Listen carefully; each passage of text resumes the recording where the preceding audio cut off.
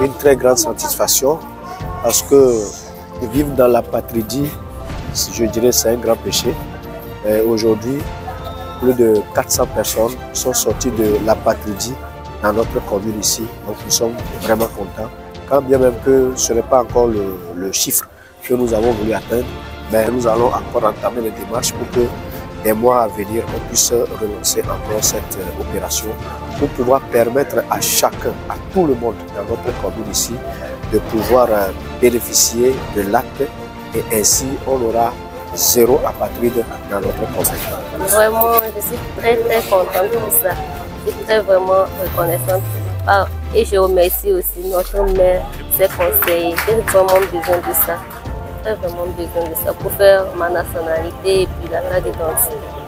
Dzidzɔ gã aɖe le dzɔm to dzidzɔwo ma ke su asi nya ŋuti le da akpe ɖo ta be la be sã nyem ɖo dzigbewo mɔ be gbe le kia ke be su asi nya le da akpe yem le gba le da akpe ke. Elabena ne be su asi nya trɔ zu dumevi ye mate yi ate ɖe kpekpe mate zɔ mɔ kui mate ƒo kɔkɔ tsã ye mate gɛ ɖe afi geɖewo eti adzi gã aɖe le dzɔ eye ke woe kea commune va gba wɔ Comme les enfants vont à l'école, au niveau du CM2, les enfants souffrent. Moi, je leur remercie. Je vais prendre soin de ce document parce que c'est nécessaire.